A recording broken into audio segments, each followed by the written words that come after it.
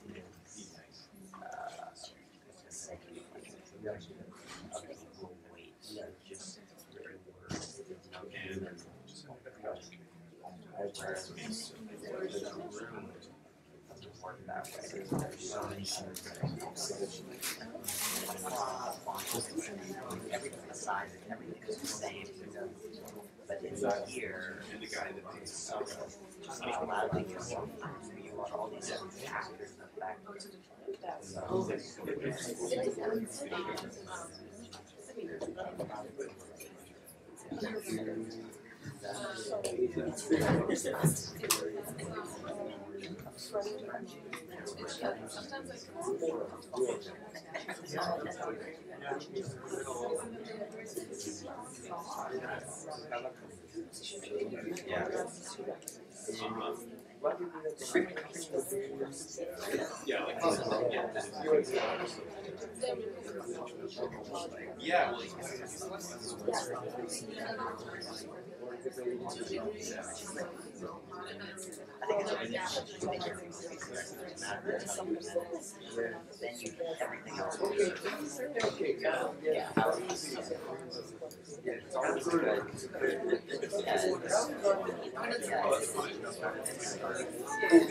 Okay, maybe we should start and uh, any latecomers will be welcome to disturb us and find their seats.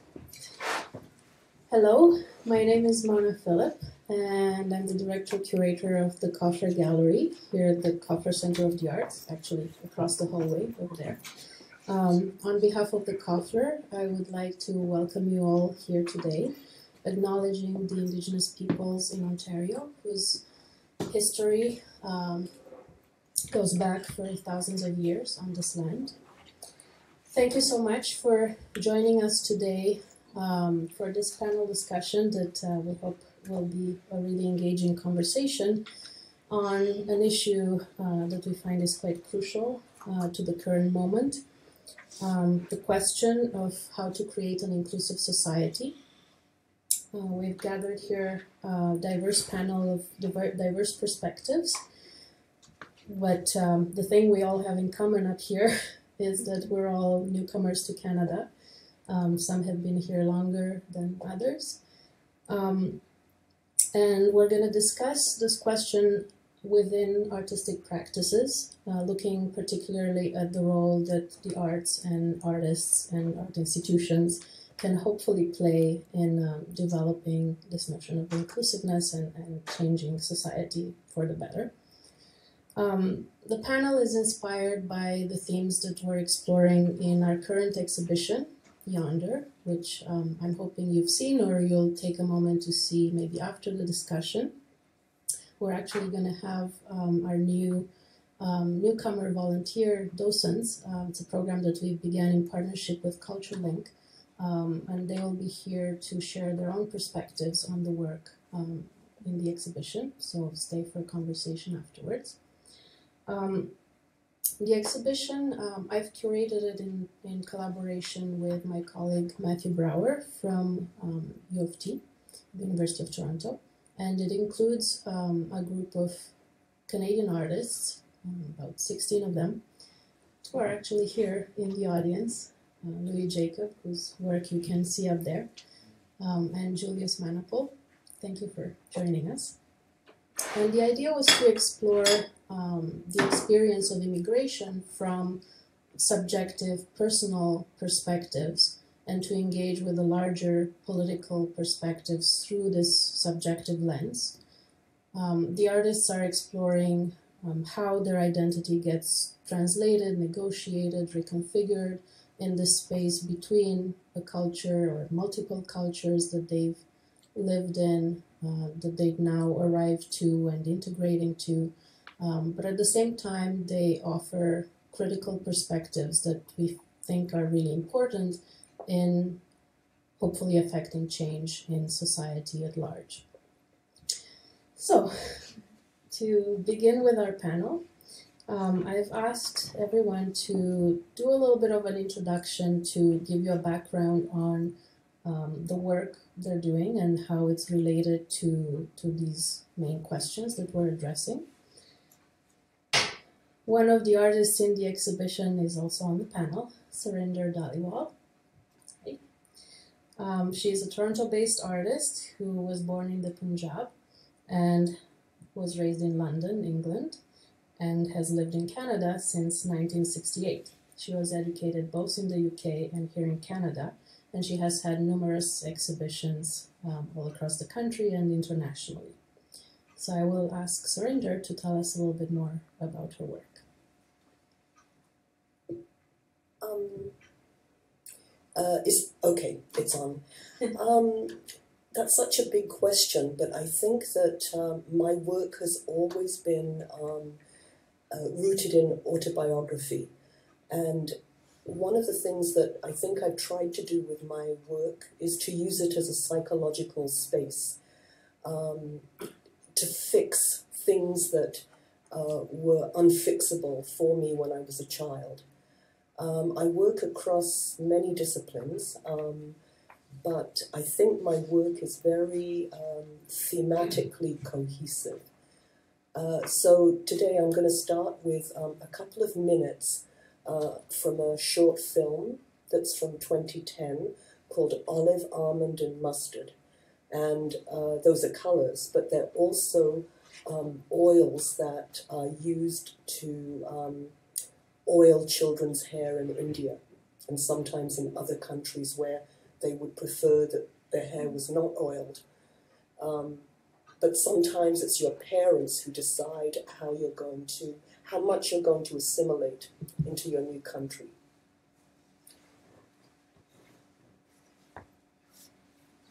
Some people regard him simply as a racist, others as honestly reflecting the views of his constituents. Mr. Enoch Powell likens the race relations bill to a match thrown onto gunpowder so that immigration should be virtually stopped. The minister responsible for race relations has called Mr. Powell's speech extremely damaging.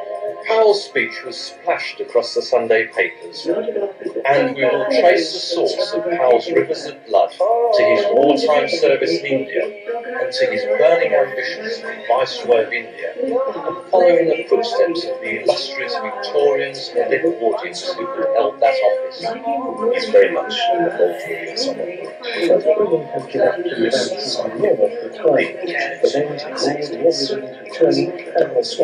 For but then the northern coast and hills especially, later.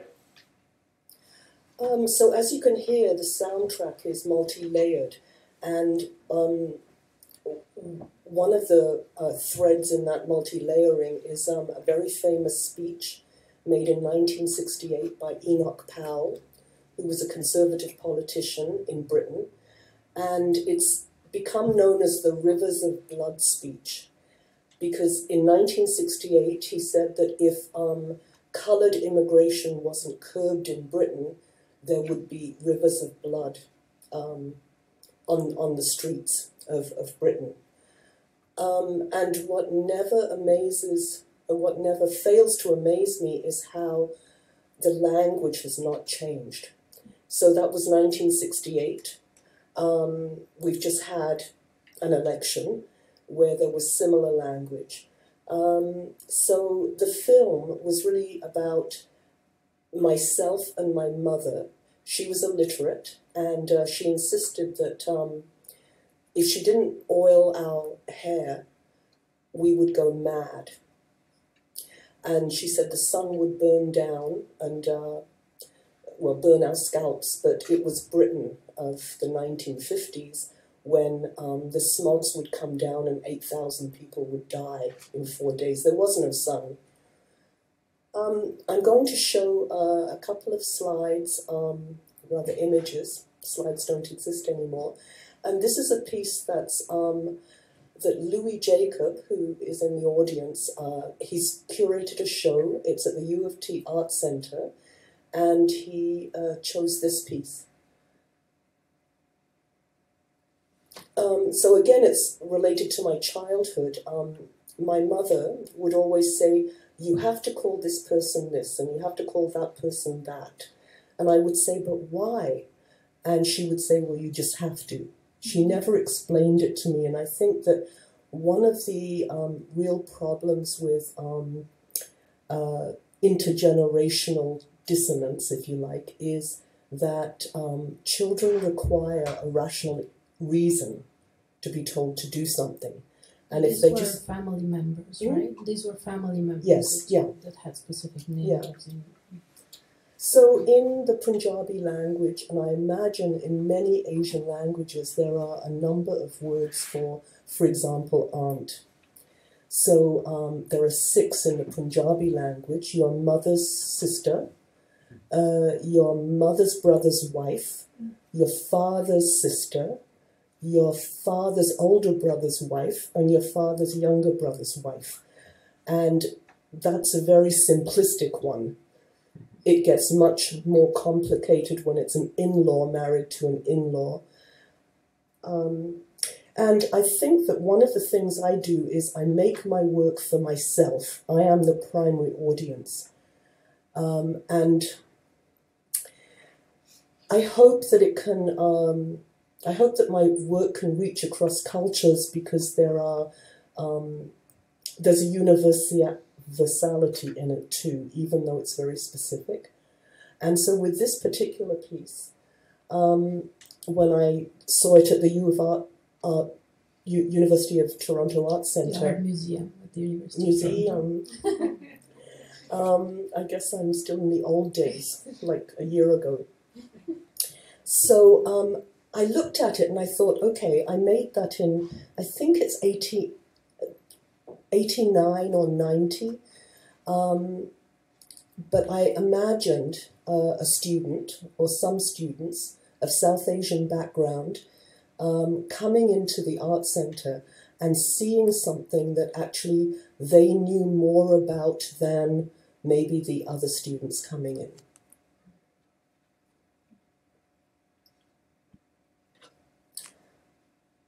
I think we'll go on to the last.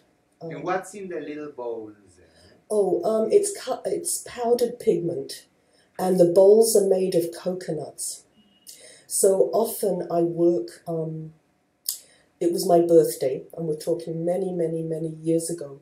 And my brother worked at the food terminal, and he said, "What would you like for your birthday?" And I said, "I'd like twenty-eight coconuts." And they just, I just kept them until I think they were right for this piece. So it doesn't have much meaning, it's mostly an aesthetic counterpoint to the slates. So uh, this is the piece that's in um, Yonder, and uh, it's a new piece um, this year.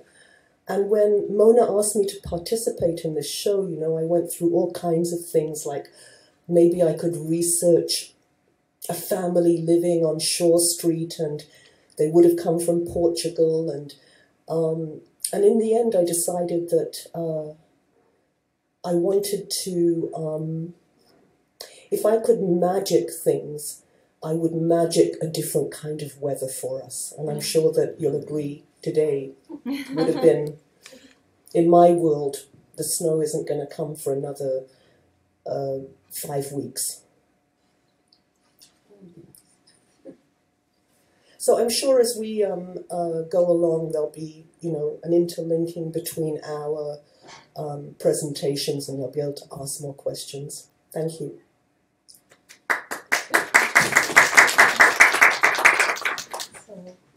Next on the panel we have Ximena Huizi, who is a Venezuelan theater artist who has been living in Canada for the past seven years and in Toronto for the last three. She's a graduate of Fanshawe College's Theatre Arts program in London, Ontario, and has trained with a number of companies and artists in both Venezuela and Canada. Do you want to tell us more about it? Hi. Hello? Yeah. Okay. Hi.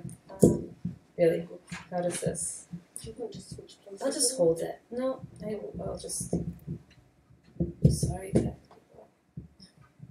Okay. Hi. Um, yeah. So my name is Ximena, and I was born and raised in Venezuela, and um, my family came to Canada uh, seven years ago uh, on the first wave of what has since become the largest migration outward that Venezuela has seen in its in its history because of the ever-growing crisis that we're in. Um, for me, at the tender age of 19 and um, very uh, angsty artist, my migration was very much about the possibility of being able to train in a craft that I couldn't pursue professionally in my country.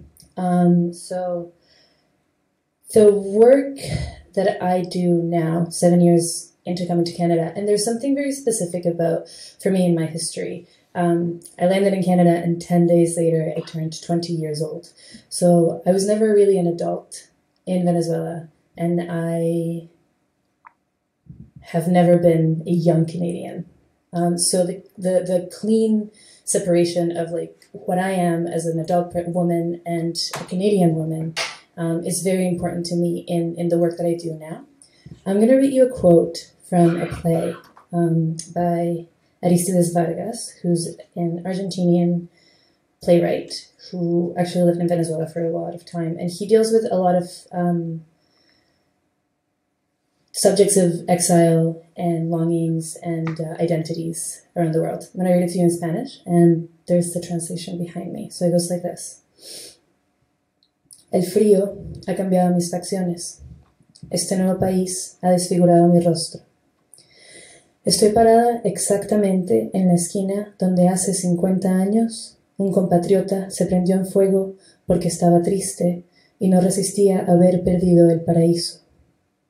Se prendió fuego y su calor no alcanza para devolver las facciones de mi cara.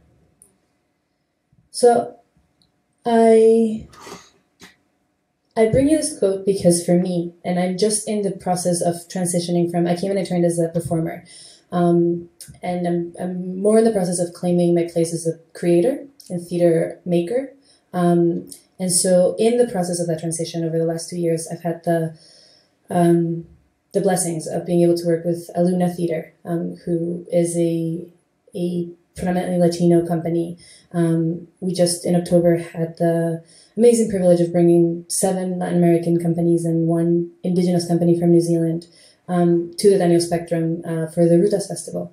Um, and so for me, um, that wasn't in it. That's a different show, but uh, that's me. Um, for me, uh, the the important thing about this this quote is that it references two things that are very pivotal in my work and in my exploration as a diaspora diasporic artist. And I've, I'm in conflict with that word because there's so many um, feelings around it. So it seems very like in my art for a while, it just it seemed like a, such a strong calling and such a juicy place to explore from.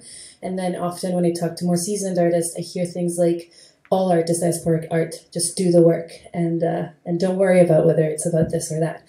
And so as I as I unravel all these things, and this is really I'm just at the door of all of these subjects, and so I'm speaking from a place of of what my questions are as a as an emerging really artist. Um, the our our what is the word that is says features features that word's really hard for me in English. Our features are disfigured by the cold, and they are. Uh, I came to Canada and I did so well at assimilating into an Anglo-centric um, theatre program and a very very white community in London, Ontario. Um, and and I think that's something that we all do to to a different degree, but I think it's important that we look at that because whether we are pleased by our assimilation or wounded by it or either, um, it is the staple of the work that it, it is what makes our work diasporic, whether we're choosing to name it that or not. Um, and then there's the fact that she references um, a compatriot that lit himself on fire 50 years ago. So the fact that migration has always been a part of our history, and the things that we're going through, all migrants have been going through. Um, and so there's a there's a connection to this this struggle and to the building of these these societies that goes further back, and the longing is very different. So. Uh, her compatriot set himself on fire because he couldn't cope with having lost what he had. So it's a compatriot that regrets and and and blames and then surrenders. Whereas her regret is that even that he cannot make her what she was. And so it's the fact that right now for me, after spending five years assimilating and training and really grasping a culture and an aesthetic here in Canada, I'm looking to the South um, to see what it is that my art actually is past all of the disfiguration that my factions have gone through, um, while knowing that it'll it won't be a returning to what I was, um, and that a returning to what I was isn't useful for for what we are trying to build. What's useful is um, an offering and an acceptance of of what it is that we become after the process of migration. The play that you saw, the pictures that you saw were from a play by an amazing uh, Chilean uh, Canadian artist, Via Bruxa. She is a visual artist, and um, this show is called Ayelen, and it was presented at Summerworks 2015. Um, and it dealt with, um, very briefly, it dealt with the abuses in that occur in the mines in Guatemala to their indigenous people. And um, it was a very rough, um, poignant story told through fable and through magical realism. And it was it's the kind of work that aesthetically we don't see often here. It was still very much in a child in a children's kind of fairy tale um, script, uh, and it was the first work that I did that really put me in a place of saying there can be work that is different, and so that is why it's there. Thank you.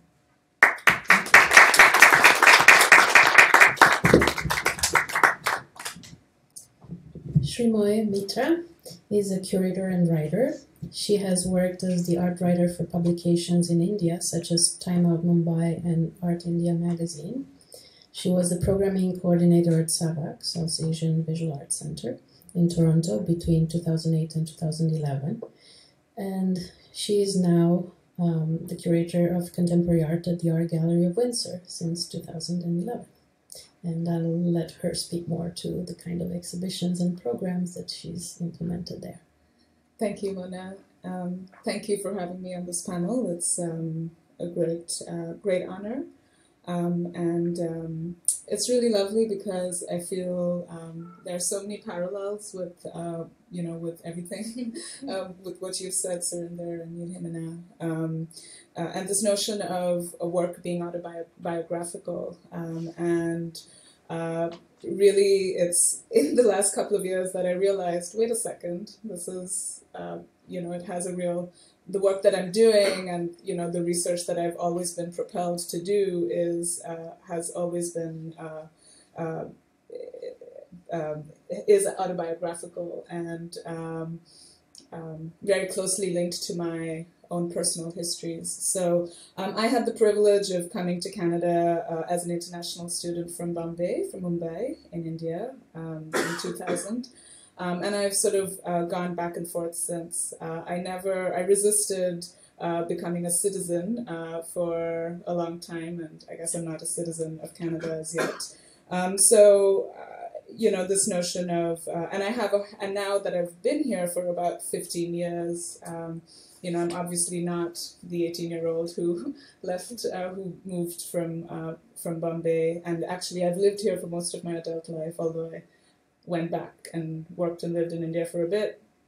and then moved back. So, um, you know, um, so thinking about whether I'm Indian or Canadian or what those things mean are constantly in flux. And actually, um, uh, you know, uh, I don't know if it's. I think it's an an ongoing process uh, of trying to figure that out. Um, and I don't even know if those labels are actually important or how important they are. Uh, um, and at what point they're labels and at what point they're nationalistic. Um, those are all questions that uh, I think, especially in this moment, uh, we need to grapple with. Um, so one of the projects that uh, Mona had asked me to speak about uh, was uh, this exhibition uh, that I uh, developed uh, in Windsor at the Art Gallery of Windsor called Border Cultures. Um, so Border Cultures was a three-year exhibition um, that took place from 2013 to 2015. Um, I moved to Windsor in 2011 to take the position of curator of contemporary art, um, and I was really struck by um, Windsor, you know, uh, being at the southern tip of Canada, across the river from Detroit, I could not believe. Um, so, uh, sorry, if we could go back to the previous image, no, the one before. so this uh, this was the view from my office, and actually, I live very closely, uh, close to the gallery, um, and so this is our view from our window. So what we're looking at um, across the river is Detroit, um, and uh, you know where the shadow is, that's Windsor. So uh, it's uh, you know, and when you um, get off the 401 and you drive into Windsor, you see those tall towers on your right. Yes, on the right there. So those are the GM towers. They're called the Renaissance, um, the Renaissance Center, um, which is in Detroit. But you see that when you get off uh, the 401 and you enter, uh, get on Dougall. Uh, and you enter Windsor, and if you and you feel like you're driving towards these towers, until you get to the river and you realize you can't get there because it's actually a different country. Um, so um, the, the idea of being on the border is very much a lived experience. And for many, it's an experience uh, that is very painful and violent uh, because they can't they can't cross. You know, there is a bridge and there are tunnels, and there have been multiple tunnels over generations. Um, but and and and and in the different times, uh, you know, uh, they have been um, hard to cross. The most recent uh, crossings, of course, uh, the most recent complexities in the crossing uh, has been uh, since 2001, since 9-11, when all folks crossing the border need a passport, um, which has dramatically limited um, the amount of people who do cross. So um, very quickly, because I don't, you know, um, don't want to make this a, um, um, go through it in a lot of detail. So, uh, so the idea behind border cultures was uh, that rather than having one sort of comprehensive exhibition of what it means to be uh, a border city, um, for it to be a bit of a research platform. Um, so ways in which the ideas and the questions we were asking could evolve through artist practices. And so it could be a platform where artists could actually test out different um, um, ideas or propositions of what a border is or what a border can be and how it can be reimagined, how it can be redesigned, shall we say. So um, part one uh, was border, uh, uh, border cultures part one. Uh, we looked at the themes of homes and land. Um, and which was in 2013. And part two, that the you see is uh, looked at the themes of work and labor, um, uh, which was in 2014. These were all group exhibitions. And then part three um, looked at the themes of security and surveillance. And I thought I would just quickly focus on this because uh, this uh, one uh, perhaps a little more than the others, uh, speaks to uh, you know the questions of inclusivity that we're talking about. Um, so while um, we can go to the next slide, um, um I don't know if should I go. I don't know how much time I have. Uh, yeah. Mm-hmm. Uh, um, so while we were looking at uh, you know these national boundaries as they stand today, it was really important for me to also think about how borders or the armature of the border is dispersed, um, uh, you know, within uh, within our cities, within our um, uh, you know, within our everyday, uh, the, perhaps the barriers that are um, are invisible um, that that do segregate communities. So this is a work by Camille Turner and Camal Pirbhai. Um, it was sort of the uh, beginning of a series uh, that they've uh, that they've started working on called Wanted.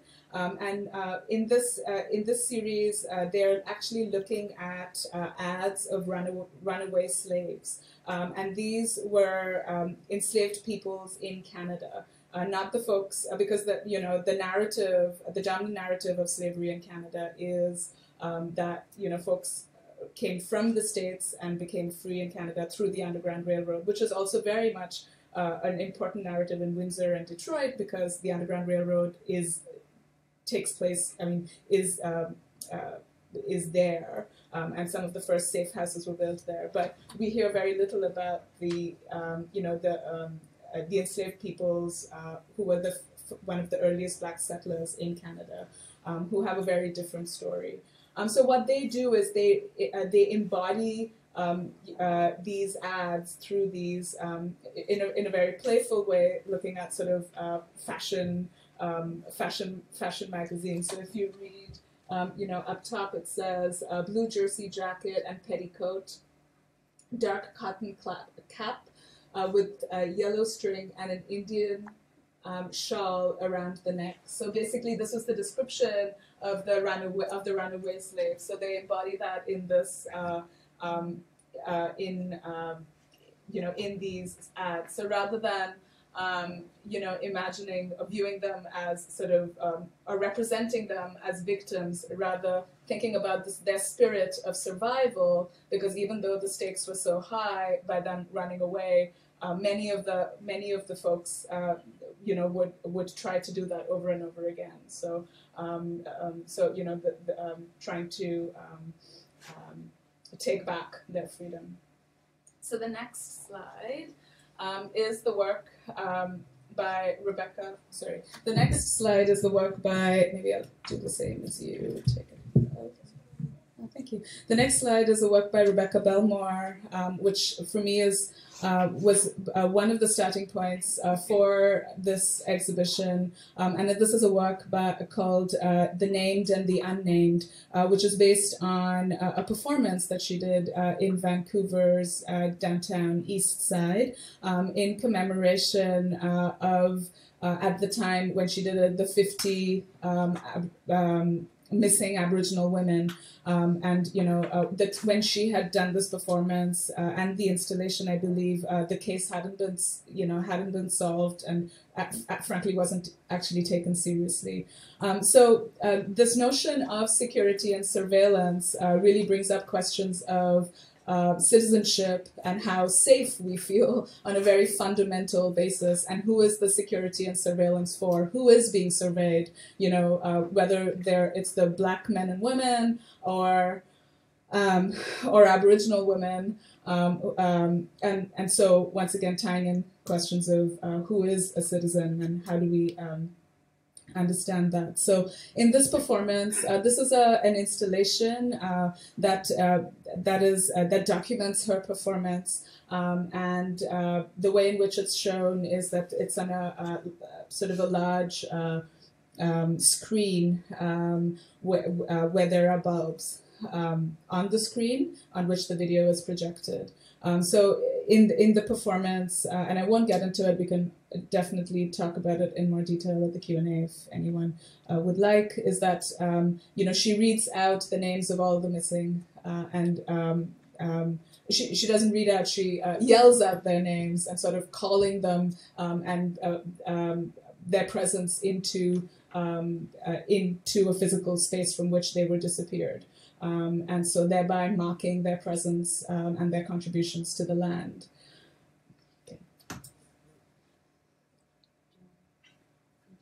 Yeah, I'll just speak about this one and then we can um, leave the rest. And then this was another uh, really important work um, for this uh, for the exhibition. It's called the Index of the Disappeared, um, and it was uh, it's an inst- it's a um, it's an archive actually um, by um, an artist duo, Mariam Ghani and Chitra Ganesh, uh, who are from New York. Um, and they started this archive after um, uh, 9-11 uh, in New York uh, with the sort of uh, rapid pace at, at, which people were being uh, deported and, um, you know, um, imprisoned. And, you know, of course, with the, in, and the kind of the, and, disappeared at Guantanamo and the and the lack of resources that they had. So um, so the installation, uh, I mean, the archive is composed of multiple um, so it's an ongoing archive. So they started it trying to sort of record all the people who are being, uh, you know, all the deportations, all the um, all the people who are being disappeared, um, working very closely with uh, uh, legal um, legal uh, legal uh, activists. Um, and as uh, materials were being were declassified, they would continue adding it to the to the to the archive. Um, so um, if we could just go to the next slide for a second. Um, so this is it's it's a room where um, so this is a um, you know the the computer the projection. It's a it's an online project as well. Um, and so they're playing off off the aesthetic of uh, you know the library cards. And you can click on any one of them and you know uh, get a, you know uh, each folder will open up uh, into uh, numerous uh, you know files basically um, on Guantanamo or the others. And then the, there are drawings, which was the previous um, uh, slide uh, by Chitra Ganesh, which uh, and the and the drawings are uh, based on the uh, imagery, the news, the media, the media-based imagery of um, you know folks who were in Guantanamo um, uh, and and of course Homeland Security. So I'll leave it there. Thank you.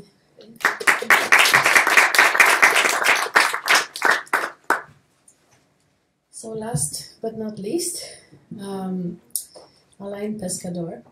Um, he's a participant that um, I've invited because you know I was really thinking about how how do we broaden the conversation? How do we make sure that the conversations we have in the art world among artists and and arts professionals don't stay just in this bubble? Uh, do they have an impact outside?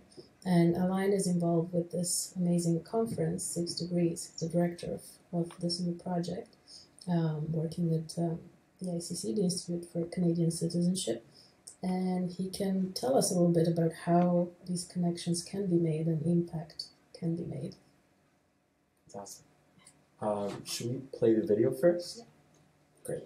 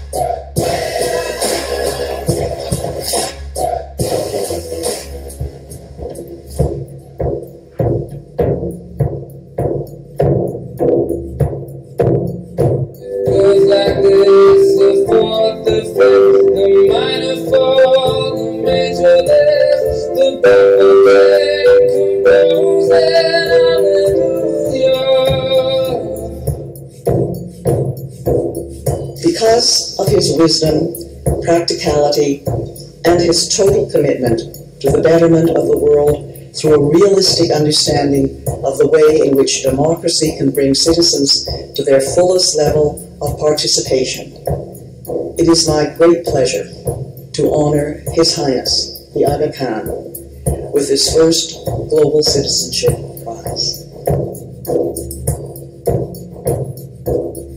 The core pluralism should ask us to respect our differences, but not to ignore them, to integrate diversity, not to depreciate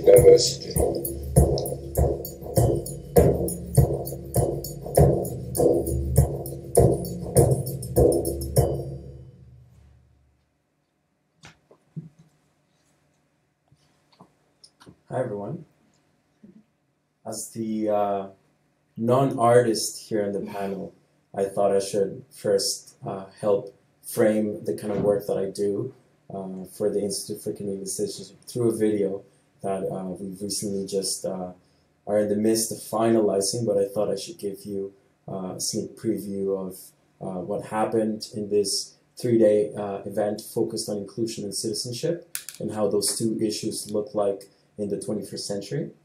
And uh, also, before continuing, I wanted to thank Mona and Jessica and everyone at the uh, Center for the Arts uh, for inviting us and for putting on this uh, fantastic panel, and to, to everyone here for, for all of your ideas and discussions.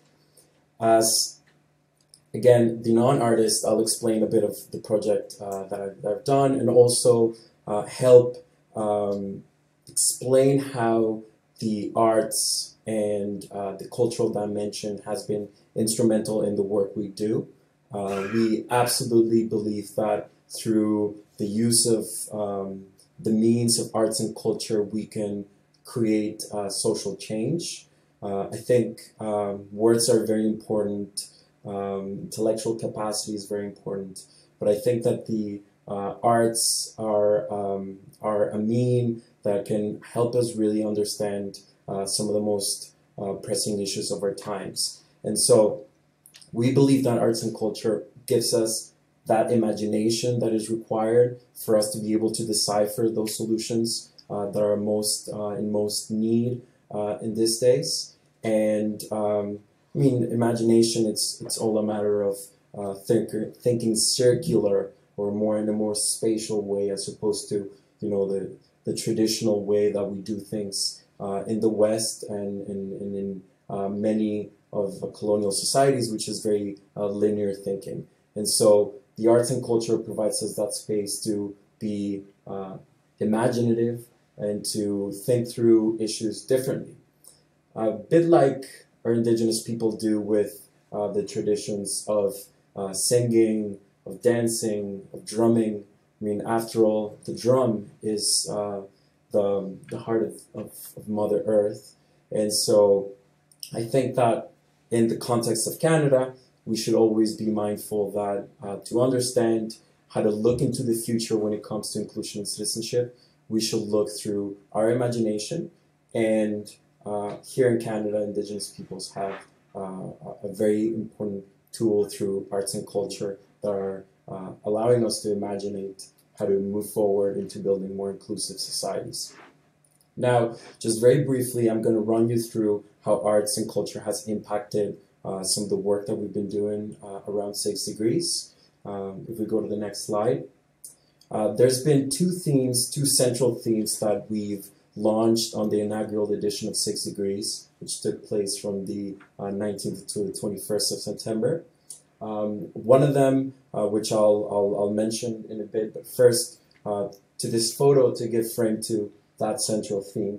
This uh, is a photography by uh, photographer Ian Willms. Uh, he's a freelancer here out of Toronto.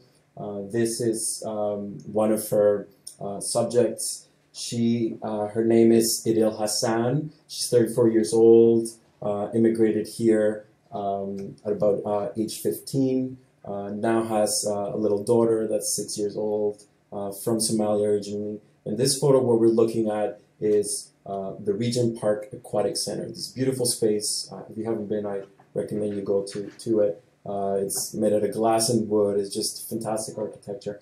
And what she's doing is she's looking at her daughter swimming in that pool. Because all Saturdays, uh, they actually taint the glasses that surround the pool and allow for um, Muslim uh, communities, especially women, uh, to swim, swim and relax and just enjoy themselves. Um, as you know, and we, we've talked to her, uh, and as you know, um, in the tradition of um, Muslim uh, uh, communities, they um, women are not allowed to be seen with clothes by men, and so just to after a conversation we had with her, she just said, you know, I wouldn't come before to this pool because my religion doesn't allow women to be seen uncovered by men.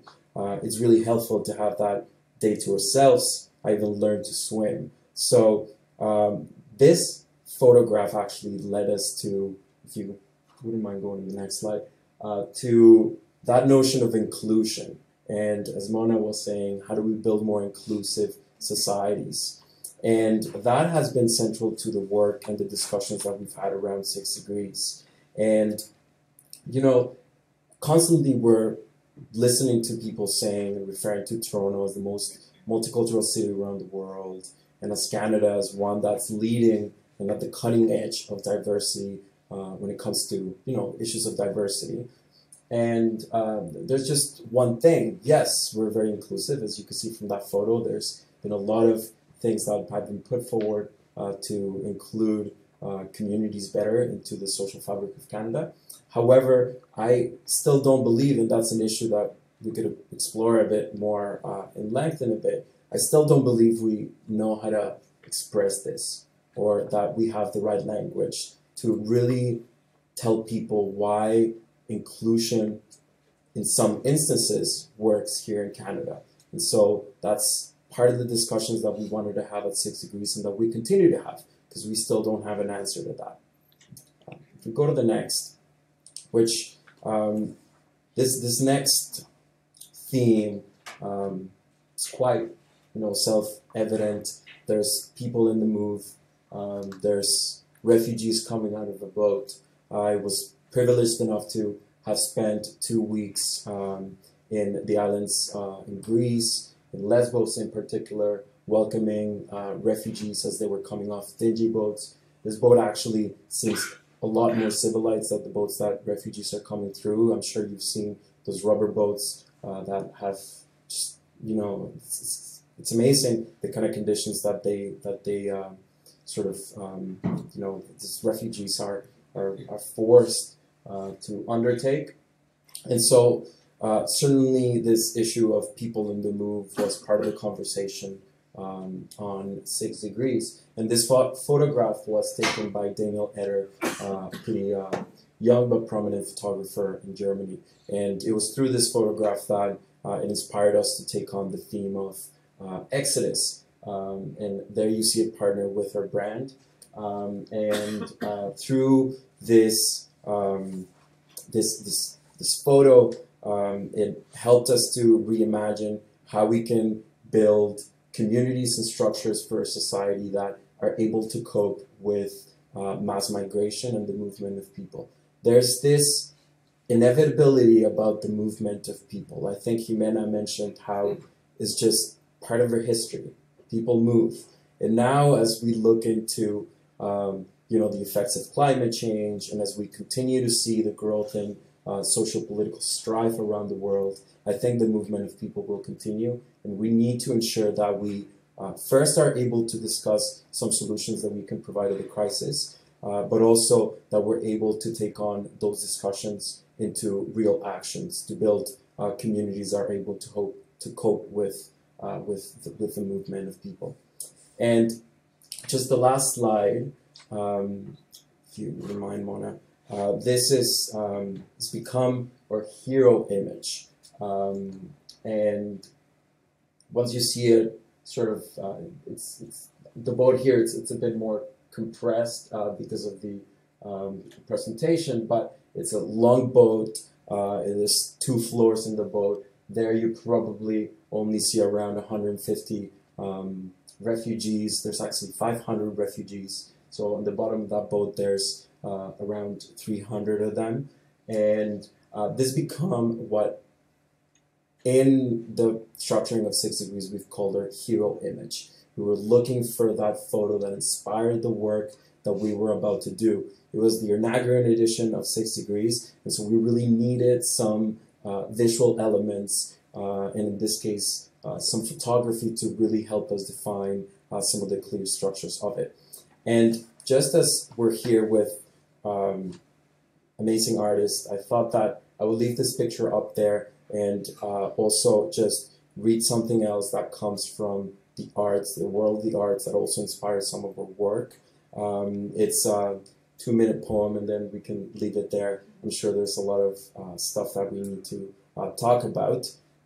Uh, but uh, this has definitely become uh, instrumental around our office and particularly is, is um, it's, it's resonated a lot with what, I've, what I've built. Um, and this is a poem by um, a British poet. Her name is Warsan Shire. She uh, was actually born in Kenya but moved to uh, Britain from Somali parents. And this is called uh, Home by Warsan Shire. No one leaves home unless home is the mouth of a shark. You only run for the border when you see the whole city running as well. Your neighbors running faster than you, the boy you went to school with, who kissed you dizzy behind the old tin factory, is holding a gun bigger than his body. You only leave home when home won't let you stay. No one would leave home unless home chased you, fire on their feet, hot bloody in your belly. It's not something you ever thought about doing, and so when you did, you carried the anthem under your breath waiting until the airport toilet to tear up the passport and swallow, each mouthful of paper making it clear that you wouldn't be going back. You have to understand, no one puts their children in a boat unless the water is safer than the land. Who would choose to spend days and nights in the stomach of a truck unless the miles traveled meant something more than journey? No one would choose to crawl under fences, be beaten until your shadow leaves you, raped, then drowned, forced to the bottom of the boat because you are darker. Be sold, starved, shot at the border like a sick animal. Be pitied, lose your name, lose your family. Make a refugee camp a home for a year or two, or ten, stripped and search, find person everywhere. And if you survive, and you're greeted on the other side with go home blacks, refugees, dirty immigrants, asylum seekers searching a country dry of milk. Look what they've done to their own countries. What will do to, your, to ours? The dirty looks in the streets. Softer than a limb torn off, the indignity of everyday life. More tender than 14 men who look like your father between your legs. Insults easier to swallow than rubble than your child's body in pieces. For now, forget about pride. Your survival is more important. I want to go home, but home is the mouth of a shark. Home is the barrel of the gun. And no one will leave home unless home chases you to the shore, unless home tells you to leave what you could not behind, even if it was human. No one leaves home until home is a damp voice in your ear saying, Leave, run now. I don't know what I've become. Thanks.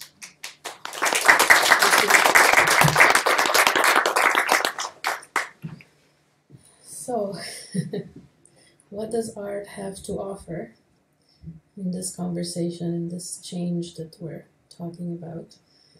Um, I will ask you this question and I'll offer some thoughts too, I think you know, and in in a very basic philosophical experiential way, art is in its essence other. It confronts us with something new and different that wasn't there in the world before, um, especially in the visual arts. I think those of us who work in art galleries um, have this experience of sometimes visitors coming in and, and asking, Where's the art?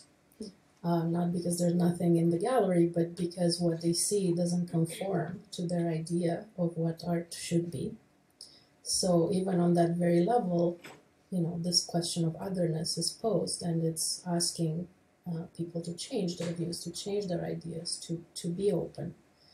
Um, but I wonder even more so with, with artwork that is created from a different cultural perspective, that brings in a different, you know, speaks about different traditions, like in your work, Sarindar, or the work that Ximena was talking about, or that Srimoyee is presenting at the gallery.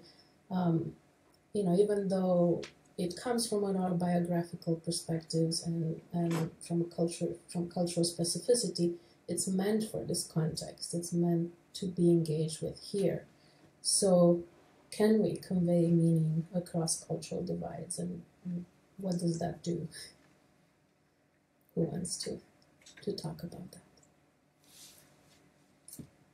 Um, I think first of all we have to remember um, that uh, children um, are not educated to be visually literate. Everyone is taught to read, and when you are an adult, you can choose whether you want to read the Washington Post or the Toronto Sun. You, but you have the tools. And I think that one of the real difficulties with the visual arts is that um, people who read uh, if their favorite author is Danielle Steel, um, they don't expect Danielle Steel to win the Nobel Prize for Literature. So I, I think what I'm trying to say is that um, um, that's why it's often very difficult for uh, people who aren't in the arts to actually have a sense of how the arts have changed since the idea that there's a, a painting with a literal subject.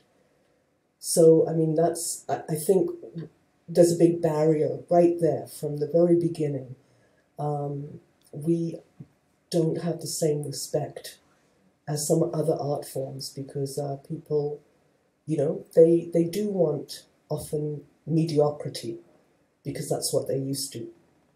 And, and that's not really answering your question, but I guess I'm trying to. There, there's always, there's also, there can be a perception that you know this work is not meant for me, Mhm. whoever me is. It's meant for an audience that knows that context that it's coming from.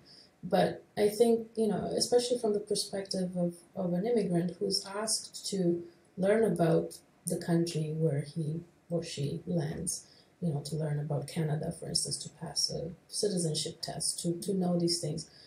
It's equally important to know each other's stories, to find out about everyone else. I guess my um, um, because you ended saying, uh, "What does it make mean to make the work here?" And I guess my question would be, "Where is here?" You know, is here is there, here and there. I just can't remember the name of the author, and perhaps someone can uh, help me. Uh, the book here, there, and elsewhere. Um, she teaches in Berkeley, feminist. um, um, um, anyway, uh, anyway, and so she writes a lot uh, about um, you know the perspectives of um, uh, migration, uh, migrants and refugees, but really questioning uh, where is here, you know, um, and here is yes, the here and now, the very local and specific. Uh, but also, I think that we, um, I don't, in my experience, and yes, of course, you know, we do have those experiences of, you know, where what is where is the art. But at the same time, I think that the audience and and folks public is actually looking for intelligent, um, is looking for a conversation. And I think that one of the, you know the the power or the agency that art and artists have is to engage in that conversation in ways that can be extremely disarming. you know, that uh, perhaps they will not read in the Washington Post or New York Times or whatever. Um, but um, but when they're confronted with it, um, or um, they they encounter it rather, um, it can have um, an emotional response uh, that perhaps makes them feel and makes one feel things that one would not, or you know, we would not uh, we not be inclined to read or, or, or to you know to deliberately go out and go and seek out. Um, and I think that is uh, where the strength of the arts comes in, is that it can integrate um, all um, these experiences, uh, whether it is um, from from uh, um, through different from different perspectives, uh, through you know through the work. Um, so that, that would be. Thank you. Um, hi. Yeah, I think I think it must right like convey content right like it must it must move through because um, otherwise what are, what is it doing? Um, I there's a couple of things that are interesting to me, and I think that there's there's the way that I see it, there's two clumps right? Like maybe there shouldn't be but so there's the people that are here and their art and their relationship to their art and their art history that they're being taught and um, and and uh, their ability to also seek out the art and how they choose to relate to that um, in in the way that they're brought up in their schools um, in what they are being taught. And then there are immigrants um, and so in a lot of cases what is already like the relationship that they're coming to art that they're bringing from before they were here and then after that, in the process of assimilating into a new country and finding a job and integrating into a school, where is the space to seek out that art in order to create that relationship to what it is that that you're looking to see back? Like, to are you find are you looking for that mirror and what? Why is it that you're looking at it? Um, so when you think about these audiences, um, and you think about the integration of both of those things, right? Like for me, this drive is work ideally that can speak to both to that can be looked at for both from both of those sides and can be read um, but often it is my experience that it isn't is that it, it, that we are catering our art to our audiences like for a specific glare um, and so the question then goes okay so when i think about my mom and i think about shows here in theater which is the only thing that i can really speak to uh, often i go to shows and i think my mom would have dropped. Like I almost like I caught maybe 97, 95% of the text that's being thrown at me and my English is great. Um, but while watching a show and, and being married to the language of it, to the text based of it, it drops. And so when I think about my mom, whose English is, let's say, 20%, 30% not as good as mine, um, I wonder, okay, where, did, how, where does it stop talking, talking to her because of the barrier? So where is this work it isn't thinking about her. And then the question is, does it need to be thinking about her, right? Um, and then then there's the, the flip side of that, which is the work that I want to do. And this is a big, big question in theater and in diverse theater. Um, do I have to speak to my migrant experience in all of the work that I do?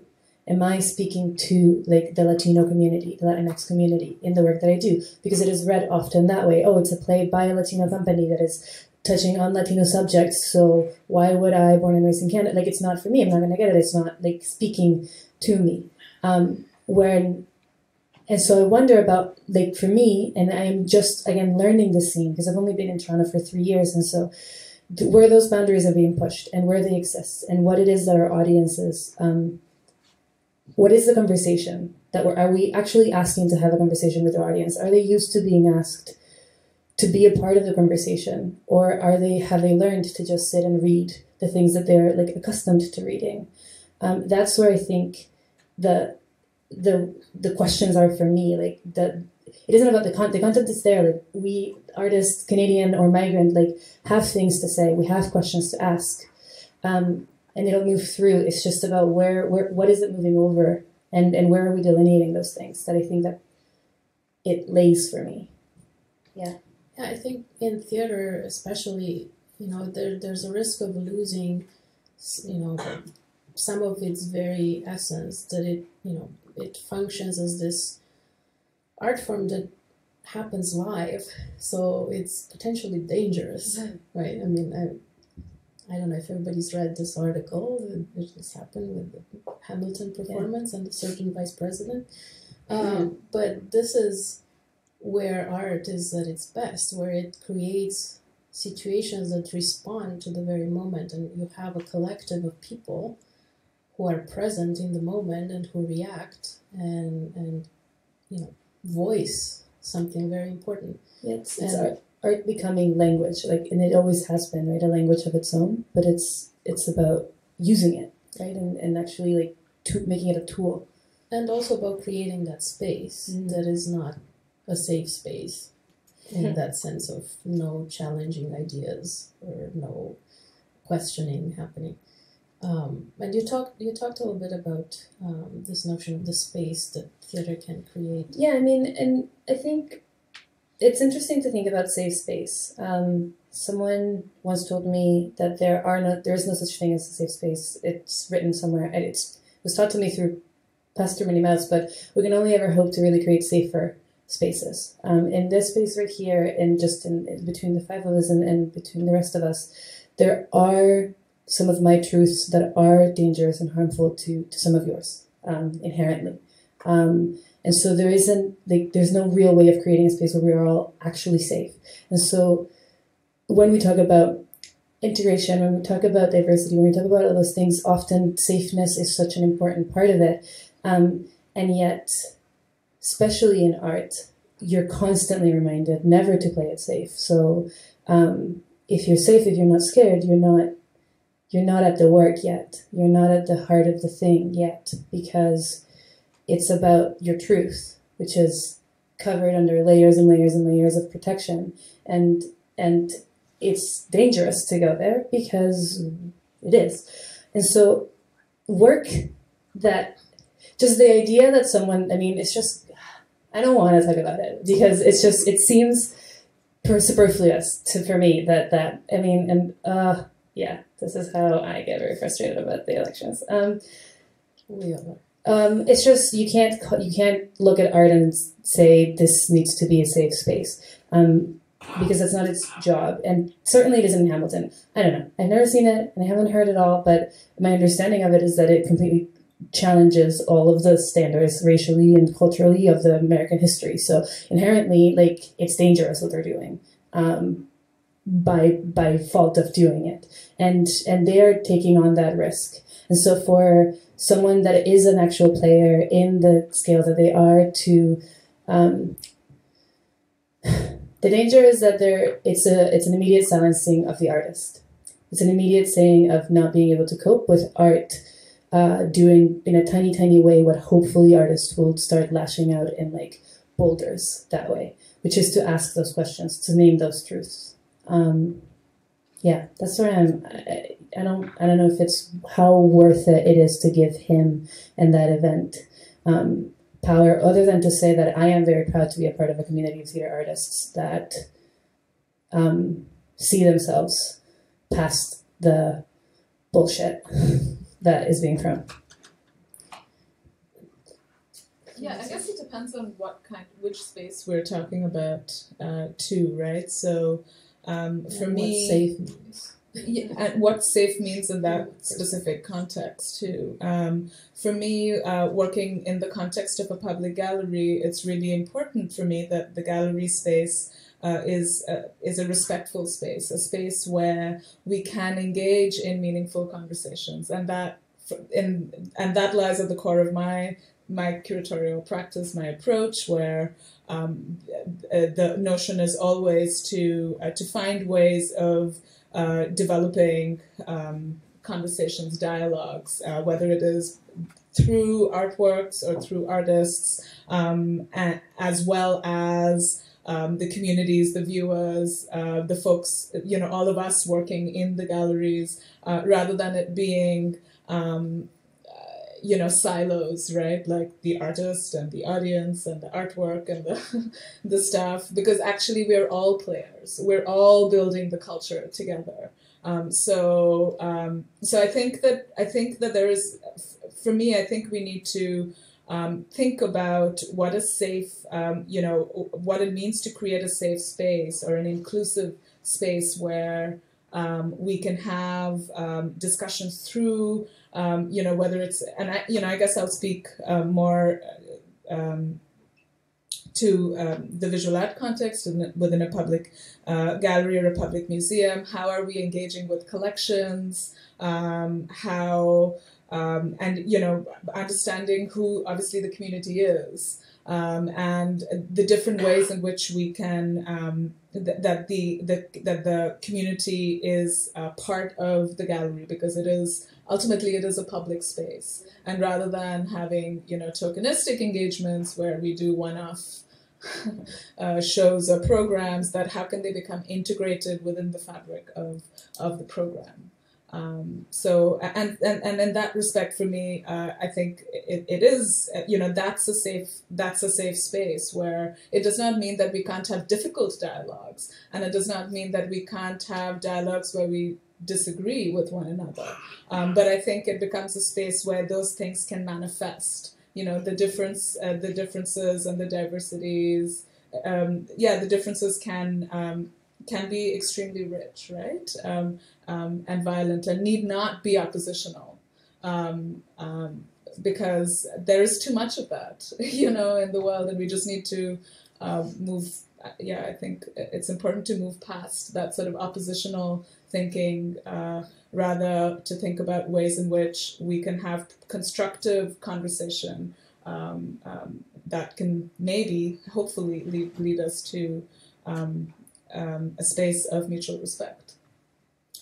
One of the ways in which art can offer, I think, a model for you know, getting past this oppositional model um, is something that um, this Israeli author David Grossman talks about um, he's a really important voice for peace, and he um, offers the model of the author, of the writer. And we don't have any writers here with us to discuss this, but I found it very interesting because he talks about the the radical other, otherness that the writer has to embody, has to understand in order to give voice to the many different characters that they create. Mm-hmm. and really imagining oneself in the other's place in the other's life experience um, worldview it's so crucial. And if you know if this would be a lesson that that can be taught to society at large it would be so beneficial um, so i don't know if you if you see this happening or possible in your various disciplines of work. Um, I just wanted to bring up um, the uh, uh, the map museum pass, which uh, I don't know if m- most of you are aware, but if you're a um, a member of the Toronto Public Library, you can get passes for two adults and four children to go to museums like the Aga Khan, the Textile Museum, the ROM. And if you can imagine uh, an immigrant family with four or five children, two adults, it would cost them like a hundred dollars mm-hmm. to get into um, into the museum. And I know that it's really changed the face of the audience of the mm-hmm. textile museum, which you know every time I go, it's usually you know knitters and you know I mean uh, sorry, that's not disrespectful at all. I'm just trying to explain that all of a sudden there's a new audience. Um, and often, I know in my culture, going to a museum or an art gallery is just not a thing they do. Even when, for example, the little girl in my film, I've shown that film a number of times in Ontario, and each time I tell her parents you know, it would be really nice for her to see herself on the screen. They have never gone. So, you know, it's uh, so I'm really happy about the map because it brings people into the galleries who might normally um, be looking for a different kind of art. Maybe I'll, I'll interject here because there's. Um, some commonalities with the work that um, I do around uh, inclusion and citizenship, especially for the Institute for Canadian Citizenship. We have uh, a similar program uh, which is called the Cultural Access Pass that gives access to um, new citizens as soon as they swear their oath to close to uh, 150 uh, cultural institutions around the country. Uh, and uh, we've seen that new citizens are able to relate strongly to the society, the Canadian society, the social fabric here in our communities through art. It's very important for them to go to the ROM. It is very important for them to access uh, these cultural institutions. They've learned a great, great deal. So exposing and giving opportunities to communities, to art spaces where they can learn, where they can open their imagination, I think it's, it's very, very important. Um, the other thing that we've started doing is with the new wave of the 25,000 uh, Syrian refugees, we've also given them the opportunity uh, as the same new citizens get to access these institutions. Um, there's something quite unique about Canada. And as I mentioned during my brief uh, introduction, it's very, very hard to explain what it is. And I think arts and culture is able to, to do that. Um, Canada doesn't necessarily, from what I've seen, please correct me if I'm wrong, doesn't necessarily have a myth of conception where there's, you know, a Robin Hood or uh, in the case of me being Mexican, you know, that uh, symbol of uh, an eagle sitting on a cactus uh, eating a snake, where everyone that's in Mexico could relate to it and, you know, sing to it and feel proud about. Uh, here in Canada, I don't think there's uh, that myth of, of conception that we can relate to. And so I think that the arts and culture, it's a good way, especially for uh, new uh, citizens and for immigrants, to get to learn a bit more about Canadian history and a bit more about where uh, we stand. So that's just, uh, I think, what I what I wanted to offer, but that also goes back to the importance of art and culture in, in our everyday life. And also, I think it goes back to something that we all felt really important to acknowledge that um, there is a much longer history before Canadian history, mm-hmm. um, and that as immigrants, we, you know, as, as a new kind of immigrant, that you know, we still have to come to terms with us being here and also settling here, um, and examining the colonial history and acknowledging the indigenous histories. And so I, you know, I thought it was really interesting the perspectives that you all had on on this responsibility as newcomers. Well, I think that what's great about it's so great to I didn't know about that program and I just I'm waiting to get called to get sworn in because I passed my citizenship exam like a month ago. Um, so that's great. Um, uh, but I think what's interesting about that, and it's great to hear it, um, because it's so hard to really like it's a it takes a lot of work like it takes a lot of infrastructure also to actually get these newcomers into the rooms and into the art um, and so these programs are so really really so key and to hear that you know you do see yourself it, it is a huge help to to learn canada's culture through art and i can only imagine that it's probably because when you look at canada's culture as far back as canada it's been a country, there has been newcomers, right? And and that they have been a pivotal part. There, there's a stamp about of an immigrant community in every part of our history. Um, and so just to find yourself as a parallel to you in the history of the country that you're new to is um, is so important. It's so precious. Um, and I think when and, and to take that even further back right and, and more and more and it is so important and i'm so happy i was just um, native earth which is um, the indigenous uh, one of the most prominent oldest indigenous theater companies in, in the country they just they have their Weesageechak begins to dance festival and i was just at a briefing session about the new granting system uh, that the Canada um, arts council is setting up and they're do, they're doing a huge, huge, huge investment in their in our First Peoples, particularly, and it was so wonderful to see that they are clearing as many blockages for our our First People to really make art, to really start communicating to us, to the rest of us, about our history and, and about their new their new works. And I think that married to the waves and waves of new of newcomers that are that are still and will continue to come is key. And I think I mentioned this um, on a brief conversation before. Like the way that I see it is is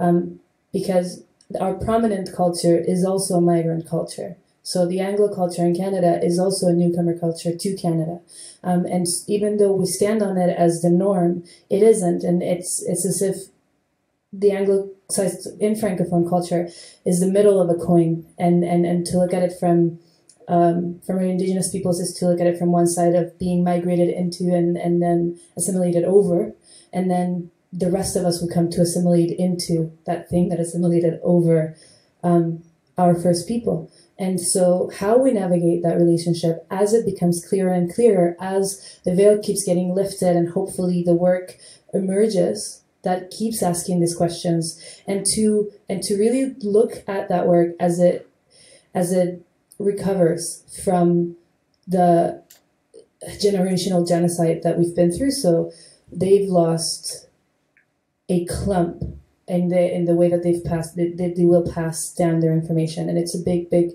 issue and it's a big part of the granting process that is coming um, I was so happy to hear that they have mentoring grants coming for, for emerging artists to find that that that way of, of, of reconnecting with language and with their elders. Um, as they figure that out and that work comes up we need to be looking very closely as immigrants and as Canadians um, because that is there is a theirs is a culture that when when we came it became inclusive. It, it allowed before it was taken um, and and and their traditions their circular traditions their traditions in drumming their traditions in communicating through through uh, physical tales and through oral traditions um, past language that, that transcend our blockages as others, as other peoples, are key, I believe, in, in the art that that we need to make. Um, and so, and I think that is also, it, it goes back to this, this, this notion of, of, of being a writer and like how far out of yourself you have to take yourself to write. It is also how far into yourself you have to go, right? Like how much, uh, do you exist in the history that already exists? Not by not not by claiming it or by by um, what is the word that I'm looking for? Appropriating English, um, not by appropriating it, but by finding, by doing what art looks to do, right? By looking at it and looking at the spaces that it allows for you to see yourself in it. Um, so I do believe, though, that that is at the core of the work that's ahead. Yeah. Well, I think it's you know um, it's empathy, right? Um, in in, in, in that quote, uh, while the writer goes deep inside or outside their bodies to find that other voice, there is a whole, there are the readers who do the same thing to to to um, you know make the process complete, right? So um, so I, I, think it's a circle, and um, and and and that's what I mean in terms of thinking about um, you know not thinking about it oppositionally and uh, artist versus audience, and you know, I think that. Uh, I think that um, I think as uh, personally as um, you know as someone who has moved here and lived here in, for so many years, I have to reckon with uh, my um, you know sort of my role as a settler in in Canada and what does that mean in the work that I do um, and how and so how can I learn um, and unlearn uh, the various um, assumptions uh, that uh, that come into play um, as as a settler um, and I think and I think it's a it's a it's a personal process or a process as well as uh, something that can only be done um, in dialogue uh, with um, and, you know, um, yeah, in dialogue rather than um, a solo, you know, uh, for me, a, a solo process. But, and um, yeah, that's all. Um, I just wanted to pick up on one thing that uh, Srimoyee said. It was the word empathy. Mm-hmm. Um, a really successful work of art, and I'm thinking of the Rebecca Belmore piece, mm-hmm. does bring in all kinds of people who normally would not go into a gallery to see a mm-hmm. video. Um, so, you know, it was filmed in the back alleys of Vancouver, which um, they're very specific, uh, and um, it was also the point where um, when she names these women, she has some roses, and she rips the the rose across her mouth, and you know it's got thorns, and so. Um, one of the reasons that piece is so powerful is it has a, a visceral pain um, that comes through.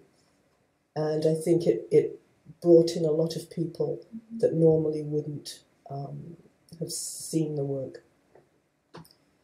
Thank you. So we're getting close to the end of our um, program here, uh, but I wanted to see if anyone in the audience had any questions before we conclude.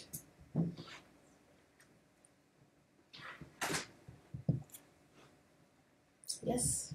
Um, there's a theme that I've been hearing in the different presentations, and I'm just going to try to articulate it a little bit. Um, you know, I keep thinking about the Canada Council, for example. So when, when I read the announcement and they talked about the, I can't remember what it's called, the new something program, or it's basically the, the 150th anniversary of Canada. And one interesting thing that popped out in the description was that it said that it's to acknowledge, and then in brackets, but not celebrate the anniversary of this country. And I was like, that I cannot imagine being normal. you know, that a, that a, a national granting agency with a program uh, to mark the anniversary of the nation state saying we have a program to acknowledge but not celebrate the nation state. Like that, that was an interesting thing that I've never seen before.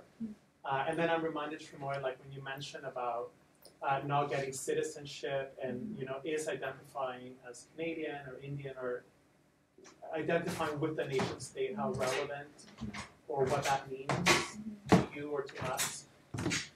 And then remembering the video that Alain that you mentioned, um, the, the, that you showed. Uh, at one point, there's a musician who's wearing a jacket that says "hallucination," and so I just, I guess, I want to pose it as a question: like, if we're thinking about inclusion, citizenship, the nation state, etc., does the word hallucination resonate in any way with what you guys are thinking about? Elucidation? Well, Hallucination. do you want to speak to Triple? I think you probably speak to that, but I think you're you're uh, you're making a very good point. Um, your name's Luis. Yeah. Right?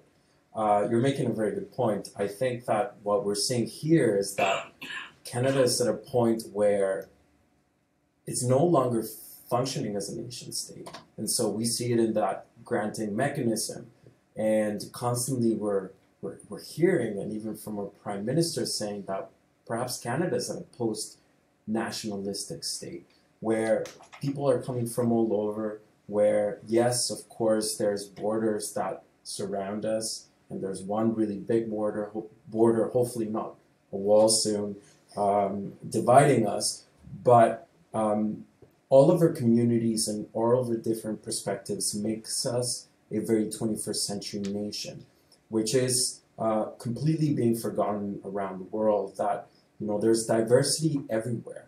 It's just that what still matters to make some change is to really create inclusive societies. And that's really what we should be striving for.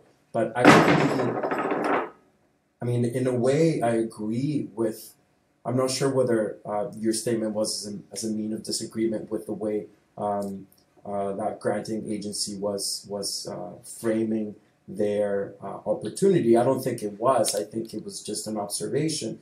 But I think that, yes, I mean, since we're at a post nationalistic stage, we perhaps shouldn't be binding ourselves to um, a celebration of a country that now is completely different than the way it used to be 150 years ago. Well, and I think it, having heard um, that, yeah, um, kind of briefing on, on the new granting system, particularly in an Indigenous festival and speaking particularly about the Indigenous program. Um, I think it's it it seems clear to me that I think the the offer is that I want to be very careful about how I articulate this. Um, we can't celebrate it while in an effort to amend to our first people. So you can't make this gesture to them and then call it a celebration of the thing that like required you to have to make this gesture 150 years later. So and I think that it's it is baffling. Baffling I think is is the is like spot on. It's just but it's uh, encouraging. And I think that to to hear a granting body claim that and say uh, this is not what we're doing. So to have them also be proactive about um, not only saying only um, to acknowledge and then not not mention the celebration, but to go a step further and to say this isn't about a celebration. We won't let it be about a celebration. Seems like uh, a very generous. Not only it means that they're putting their mouth where their money is as well. So they're they're making the gesture with their granting body, and they're also saying the this is the ideology behind it. Um, the Halluci Nation is a tribe called red's latest album and uh, i think their work speaks to what that is. And i think uh, i it is it is that kind of work that i'm referring to when i say we have to look closely at how they are hashing it up like how they are like how that particular um, group is um, breaching their own barriers and using their art to to become um, prominent and to speak and to and to and to to become skillful. And and it's about it's about everything right? And it's about being young and it's about partying and it's about um, their culture. And they're plowing through slowly and they're coming up you know steadily um, with a grip so tight on the core of what they are um, that is so so inspiring. And I don't know um, how much I. I'm trying to think like to the specific words that you said. Um, I'm blanking. Um, yeah, I'm gonna leave it at that because I blanked. So. I think uh, I mean that's great. I didn't I didn't know that. Um, and uh, by saying that, obviously they um, you know it is the first step uh, into you know the process of reconciliation maybe and you know where every grant apply yeah everyone who applies for the grant must understand um, or try to understand or use it as a way to um, to begin to understand what reconciliation is uh, could be um, and how do we how do we begin that path. Um, I don't know uh, what post like post national and I don't I'm not sure um, if that's um, uh, uh, yeah I'm not I'm not quite there yet. Um, and uh, you know what that means or would mean. Uh, but I think that um, you know putting the questions of truth and reconciliation at the core um, of uh, the work that is emerging uh, will be I think absolutely a game changer with because it will shift all the paradigms um, and um, and will release a, a way of um, you know perhaps um, present new ways uh, uh, of thinking, looking, imagining. Um, yeah, which is which is very exciting, um, and you know I think it'll be time of uh, like shaking up a lot of things. which are also it's not uh, which are also difficult so which we must acknowledge you want to pass the mic behind you, I think David had a question. Thank you, wonderful panel. Um, just reluctantly, some years ago, I went to Nuit Blanche, and as I am standing in uh, City Hall, um, hating being there and looking at this debauchery of festival, uh, my wife uh, points out that there is a homeless guy in awe staring at the performance. And she says, David, uh, don't be such a bitter old man. Uh, this guy probably has no access to art uh, as you do. You can walk into any museum, you can see any painting whenever you want don't take for granted that anybody has the same access or accessibility to these inspiring forces, no? And it, it really shook me there. I thought, wow, what would it be like not to be able to attend a concert when I want, or a play, or uh, the importance that art uh, plays in my role, in the role of my family, my circle, is irreplaceable, no? And yet, to think about accessibility and think not just about how newcomers have access to that, but there's a huge population around us that probably has zero, virtual, no contact with artistic manifestations, no? So the question of how to begin opening those boundaries, those borders, I must say that uh, I was very impressed with the work that Mr. Pescador presented to us, but I was a bit put off by how corporate that video is. Uh, you know, it, it could have been uh, Mellon or the Carnegie Association uh, selling us bonds, you know, all these people with ties. Uh, sure, Adrienne Clarkson is a very beloved figure, but I mean, she has come to represent somebody who travels in first class, who loves reading her books up there in those uh, cabins. And I think there's something about uh, opening the boundaries in languages, in visual languages, in forms of relating that uh, lower the defense of people. People are already very defensive about art and artistic practices let alone uh, questions of accessibility uh, amongst different socioeconomic groups. No? So, I, I, mean, I don't need to be critical of the purposes of the organization, but uh, formally speaking, what would be the best ways of lowering those defensive systems? Well, I think this is uh, my opportunity to claim to to, to defend what I just uh, yes presented. So thank you for that. Um,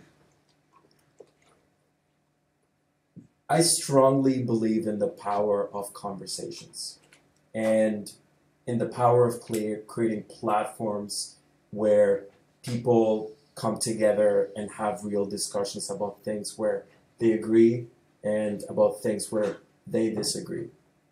Now, this three minute video uh, the designers, uh, which consider themselves artists, might hate you for the corporate assumption of things. Um, that's just how their art was represented. Uh, but uh, in fact, uh, you're right. I mean, there's some corporate partners as well, some public partners, and also some foundation partners that are behind the work of Six Degrees. But the point is not the kind of groups and stakeholders that we bring together. I think the point is, again, to provide that platform and that space where we can have real discussions. That um, reference to the Halluci Nation, it's a, um, a, quick shot of uh, something that we did uh, that was uh, very much with a purpose. One of the evenings at Six Degrees, we open it up for free to the public in general to uh, the theme of uh, indigenous communities and to the theme of reconciliation.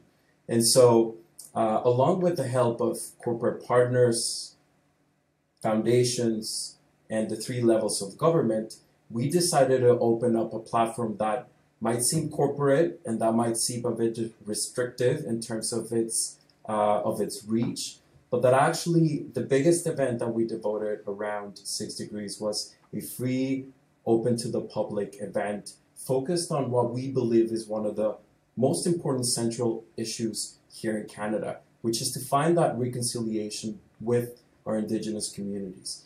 And so I'm just mentioning this to say that one, we strongly believe in the power of conversations. Two, I think that there's uh, in anything we do uh, some gives and takes with the kind of relationships that we want to be uh, striking when it comes to creating a better good. In this case, at Six Degrees, we did partner with uh, corporates and uh, foundations in the public sector However, I think the greater good is what we uh, wanted to achieve, and I think we did a very good job at that. And lastly, um, at a core of any initiatives, and that's something that I believe as the director of the initiative, I think that that's the first thing that I um, that I've put in place, which is let's do this for the rest of us, not only just for a few of us. And uh, that representation of what we did that night when we opened up, um, you know, uh, an evening uh, for everyone, for the whole Toronto community to attend to on this issue of Indigenous communities, which I think is very important, is something that we should continue doing. These platforms are very important and conversation must be had. So I think that your comments are very fair, and uh, that's something that we should always keep in mind uh, in the work I do and the work that everyone does. And I certainly uh, take your your feedback uh, in a very constructive way. And I, uh, as I have, I will continue to apply these notions that you've put forward on the table into the work that I do and that I continue doing. Thanks. So I think we should end on that note. and um, if you are interested in continuing conversations, we welcome you back into the gallery and in uh, looking at the exhibition together. Um, Yonder is here only uh, for one more week, so if, if you haven't seen it, please join us and take a look. And I'd like to thank very much to our wonderful speakers today. Uh, it's been great to, to listen to your ideas and the wonderful work that you're, each of each one of you is doing. And thank you all for coming through the first snow of the year and being here um, to join us for this conversation. Thank you.